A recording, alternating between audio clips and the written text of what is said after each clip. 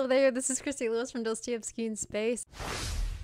Today I am coming at you with a breakdown of a Dostoevsky story. Yes, thank you. We're talking today about Conversations in a Graveyard, also known as Bobok. It's included in A Bad Business Essential Stories. It's also freely available online. I will link it down below. We're reading it for a read along right now with the Literary Discourse Discord, which is also linked down below. I don't know if I'll do more videos on it or not, but every time I read one of these stories, it makes me want to do a video on it. So maybe you'll see more. But I do, regardless, have lots of Dostoevsky Dostoevsky content on this channel in case you're just discovering this video.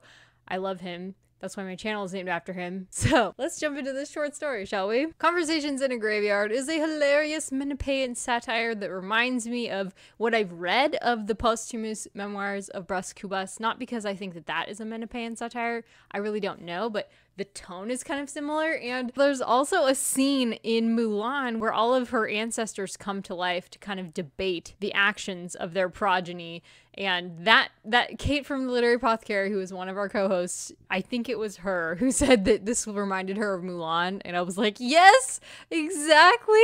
So we will discuss Menippean satire in a little while, but for now, let's jump into a summary of the story. So this is about a writer who is hard up for story ideas that will sell in St. Petersburg. He has all kinds of complaints to make about the society in St. Petersburg, like, it sure knows how to drive a man crazy, so he says. And come to think of it, he's been hearing voices. He's been hearing a voice saying, Bobok, Bobok. What could that ever mean? And also, his writing style is changing. Is he going crazy or what? So, we'll dig into his complaints in this section a little bit more later on in the story. But this section where he's just randomly critiquing society, it's just like a, a string of complaints he has about society. That is also a feature in Menippean satire, which we will talk about. So, he's bored one night and he heads out of the house and he catches a funeral of someone that he doesn't really care about. There are so many bodies in this this graveyard, he says, like, and they smell. it's like, dude, what do you expect? So, one of the details here while he's in the graveyard really caught me. Somebody is digging a grave or being buried in a grave or something. Anyways, he sees an open grave and it's full of water.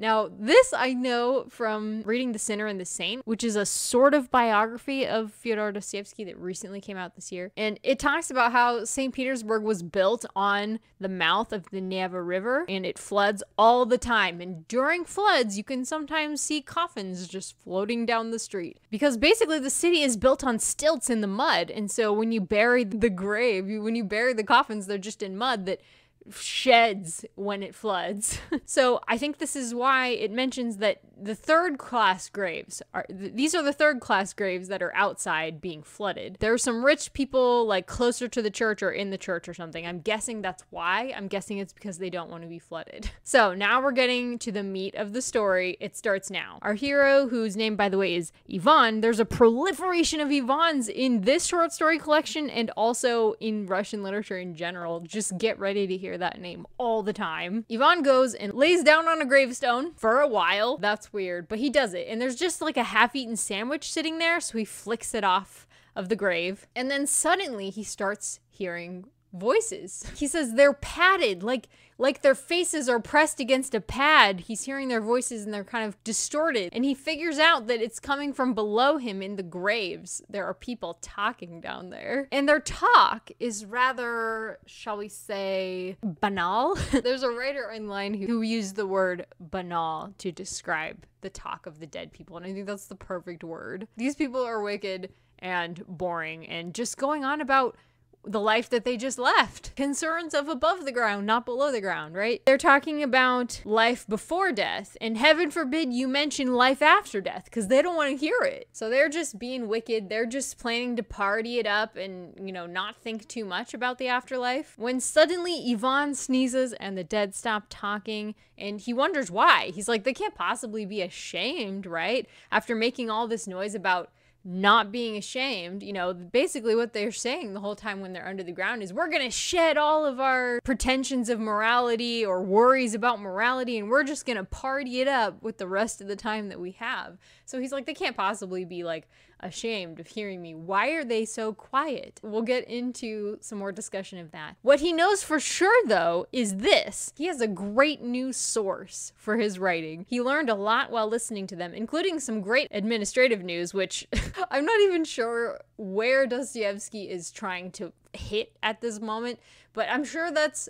Uh, you know, some kind of strike against Russia's bureaucracy because it was extremely bureaucratic at the time. People would just be promoted based on their families, not based on merit. So there was a lot of people that were advancing that really wouldn't be in a merit based system. They were not good at their jobs. So maybe that's what he's talking about. I'm not really sure. But regardless, he's going to write their biographies. He's going to share all the anecdotes that they're sharing. Like he's definitely planning on coming back. This is the phenomena he was looking to write about. So let's get into the genre before we dig into more analysis. So it's Menippean satire. Menippean satire, which I am so sorry about the pronunciation. I'm completely positive I'm mispronouncing it. I don't know how it's pronounced. So, anyways, this is not a term that I was familiar with before reading the story. So, I went ahead and read a Britannica article on it because I specifically wanted to understand the story better. So, Menippean satire is a satire of ideas and conventions, not people. It usually involves unique and arresting settings like a descent into Hades, or in this case, a graveyard full of talking corpses. It can also contain long digressions on subjects that have nothing to do with the plot, which is also a device Dostoevsky uses to release some of that pent up mockery that just seems to flow through his system like blood. Specifically, Britannica says long digressions in which the author airs his views on topics having nothing to do with the plot is in the Menippean tradition. So, okay, analysis.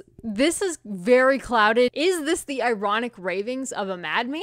Was Ivan mad? Was he dreaming? Like, he does even say that the faces of the dead give him dreams. So, was he dreaming while he was on the gravestone? I have done research on Dostoevsky and some of his beliefs, so some of my analysis will be based on that but honestly he's he's so concerned with also entertaining you and he's just so ironic and wild whenever he's writing uh, that it can be kind of hard to interpret what he is saying. So either he's kind of like the Ben Shapiro of his day, just calling out all these problems with society, all the ills of society, or he's absolutely mocking everything nihilistically. And I know that some people would probably go with the nihilism answer, but I really do believe that Dostoevsky hated nihilism and wrote against it. And that again is based on reading biographies and reading other works of his. But this is really what I believe. I'm going to share that. There's a lot of irony in the fact that this writer is giving us advice in the beginning, and then in the end, he goes against what he says in the beginning. In the beginning, he says that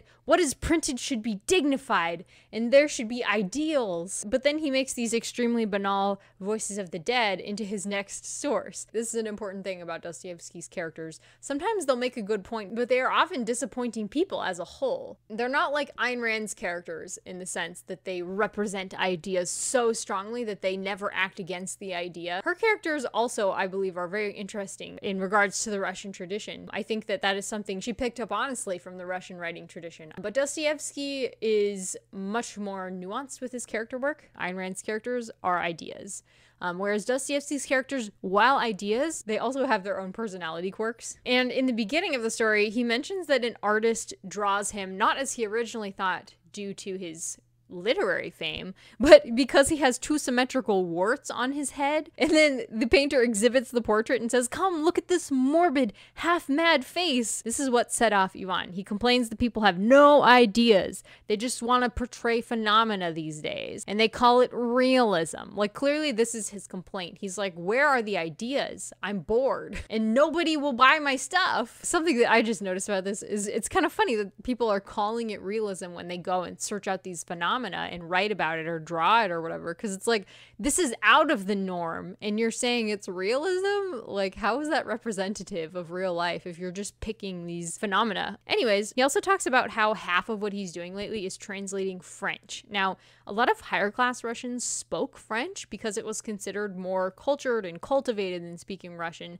This is something that i learned actually while i was reading War and Peace by Leo Tolstoy, all these characters in like the drawing rooms of St. Petersburg would suddenly break into French. So it is conceivable here that our author is annoyed that everybody's willing to listen to French ideas, but they won't listen to my ideas. Even when I want to paraphrase some French, like Voltaire, they don't want to listen. Who wants Voltaire these days? What they want is a cudgel to knock every last tooth out of each other's heads. I'm sure that also is a direct hit against some Russian writer or literary journal, maybe just the tone of the writing at the time, which sounds familiar, does it not? He also complains about people sounding off about things that they don't even know what they're talking about. They're just like normal civilian peoples, but they're talking like they know like details about, I don't know, engineering or something. And another thing, to be surprised at everything is stupid, of course. And to be astonished at nothing is a great deal more becoming, and for some reason, accepted as good form. But that is not really true, to my mind. To be astonished at nothing is much more stupid than to be astonished at everything.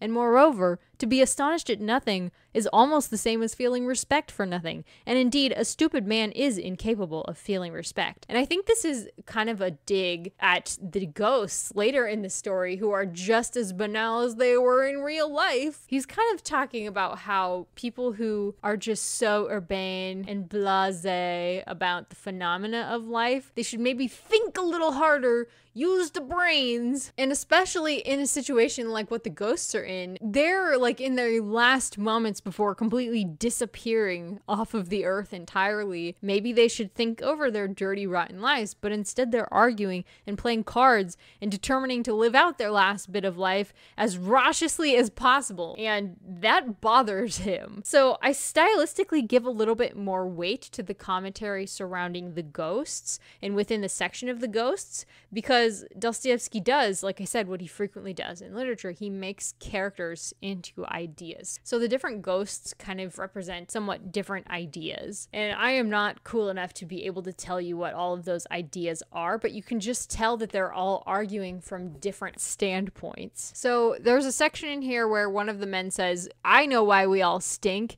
It's a moral stench. so we are addressing the stench of the bodies in the graveyard. This section I definitely paid a a little bit more attention to. Well, and how is it that I have no sense of smell and yet I feel there's a stench? That, well, on that point, our philosopher is a bit foggy.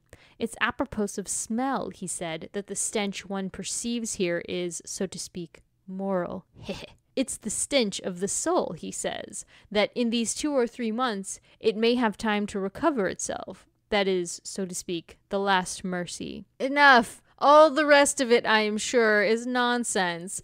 The great thing is that we have two or three more months of life, and then Bobok. I propose to spend these two months as agreeably as possible, and so to arrange everything on a new basis. Gentlemen, I propose to cast aside all shame. So we have a bit of an argument going on about how they should be living their last moments here on Earth. I do believe, based on the biography, that Dostoevsky was ideologically very opposed to nihilism and he loved to kind of tackle it in his fiction, but he would often choose very flawed narrators to kind of convey his ideas, such as for example, Prince Myshkin in The Idiot, who was goodness incarnate, but everybody thought he was an idiot because he was kind of socially inept. Or in Crime and Punishment, it's a prostitute who's telling a murderer the gospel and who ends up saving his spiritual life by sharing that with him. Or the protagonist of the first story in this here collection, the story A Bad Business. He's a ridiculous fool, but his self revelation at the end of the story kind of hits home. It hits hard for anybody who has ever been in that situation where you realized how hypocritical you really are. And he says, I must conclude that they had some secret unknown to the living, which they carefully concealed from every mortal. He is not troubled about Bobok, which I'm thinking is standing in for the afterlife or hell or maybe heaven, but I think probably hell. But then he's really startled. He says, Depravity in such a place depravity of the last aspirations, depravity of sodden and rotten corpses, and not even sparing the last moments of consciousness. These moments have been granted, vouchsafed to them, and and worst of all, in such a place. No, that I cannot admit. I shall go to the other tombs. I shall listen everywhere. Certainly one ought to listen everywhere, and not merely at one spot in order to form an idea. Perhaps one may come across something reassuring. So he wants to find out the secret that the dead people are aware of and can't share with the living. And he's hoping that he won't find such depravity everywhere. And that's kind of that's that's the end. So th- those are my thoughts on the story. It's not as tight in the moral argument as a bad business, but so like wildly entertaining that I wanted to reread it. So I reread it, and that helped me kind of pick out his argument that perhaps St. Petersburg is a very depraved place, that everybody is just some level of depravity, but that there is some secret after death. In this case, the writer, he's a fool in some ways, but he stumbled across this scene of in between life, after death, before afterlife. And so it kind of makes us kind of like reflective as well, I think, about our lives as we read the story. What did you guys think about the story? Let me know all of your thoughts down below. I can't wait to hear. Thanks so much, guys. I'll talk to you next time. Bye bye.